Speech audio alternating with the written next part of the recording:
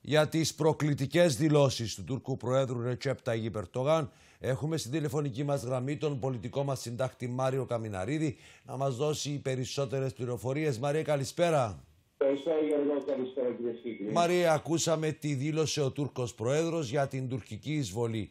Δώσε μας περισσότερες πληροφορίες. Τα ελληνικά ε, πολιτικά κόμματα και τα κόμματα της Κύπρου καταδικάζουν με το πιο έντονο τρόπο νέε και απαράδεκτες δηλώσεις από πλευράς ε, του Τούρκου Πρόεδρου, ειδικά για την ε, Κύπρο και ότι πλέον ο κ. Ερτογάν ε, ζητά συγγνώμη ουσιαστικά ότι δεν πήρε όλη την Κύπρο που ήταν ο σκοπός τους τότε λέει και σταματήσαν το 1974. Αξίζει πλέον αυτή την κουβέντα να την πάρουμε πίσω στο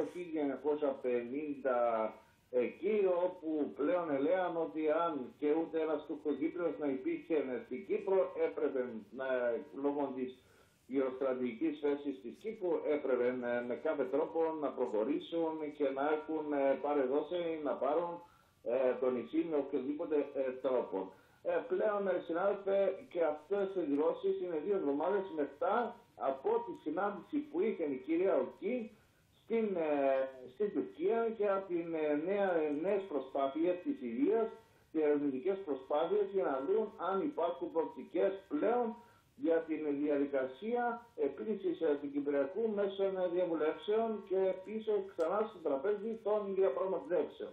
Φαίνεται ότι με αυτές τις νέες δηλώσεις του κ. Ερτογάν, στέλνοντας μήνυμα σε όλους πλέον τους κύριους παίκτες, ε, ειδικά για το Κυπριακό, ξεκαθαρίζει με το πιο έντονο τρόπο ότι με δυσκολεύεται και για να προχωρήσει η διαδικασία της κυρίας Οκή και δυσκολεύεται βέβαια να υπάρχει οποιαδήποτε επίλυση του Κυπριακού σε αυτήν ε, την φάση.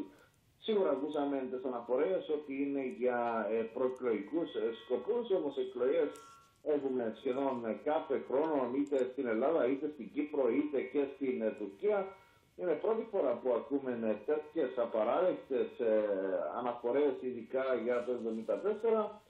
Ε, και γι' αυτόν ε, πλέον ειδικά και αυτή την χρονιά που είναι 50 χρόνια που οι πρόσφυγες μας ακόμα περιμένουν να επιστρέψουν πίσω στις πατρονικές τους αιστείες που ακόμα περιμένουμε να μάθουμε τη τύχη και του τελευταίου αγνοούμενου αδελφού μας και πλέον ε, που όλες οι ελπίδες μας είναι ότι κάποια μέρα θα λυθεί το Κυπριακό έστω με την, ε, τα ψηφίσματα του Συμβουλίου Ασφαλείας ε, όπως καθορίζονται από τα σχετικά ψηφίσματα, περί Κύπρου ψηφίσματα του Συμβουλίου Ασφαλείας που είναι βέβαια και η μορφή λύση ε, του Κυπριακού. Με αυτές τις νέες ενέργειες ο πρόεδρος της Δημοκρατίας σύμφωνα με τις πληροφορίες μας και η διπλωματική υπηρεσία της Κυπριακής Δημοκρατίας ήδη έχω στείλει ενημέρωση ή αναμένονται να στείλουν ενημέρωση πλέον ε, σε όλα τα μόνιμα μέλη του Συμβουλίου Ασφαλείας, ε, στα κράτη-μέλη της Ευρωπαϊκής Ένωσης, καταδικάζοντας τις νέες απαράδεκτες προκλητικές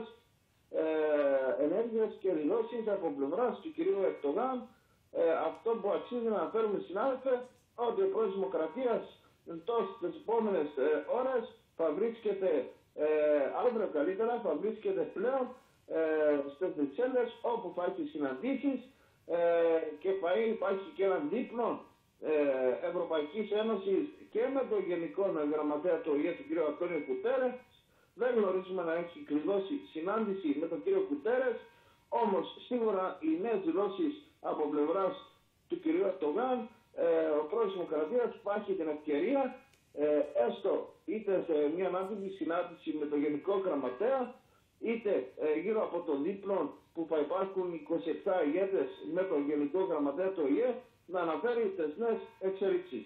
Πλέον είμαστε σε αναμονή να δούμε, ε, είχαμε και τις καταληκτικές ε, δηλώσεις σήμερα ε, από πλευράς ε, της Κύπρου καταδικάζοντας με το κέντρο τρόπο ε, τις αναφορές του Τούρκου Πρόεδρου, όμως ο πρόεδρος της Δημοκρατίας ε, τις επόμενες ώρες ε, θα δει και το Γενικό Γραμματέα του ΙΕ του κ. Αντώνη Κουτέρες και ενδεχομένως εκεί να αναφέρει όλα αυτά που έχουμε να ακούσει όλοι ε, πριν λίγο ε, στην, ε, στο ρεπορτάζ μας.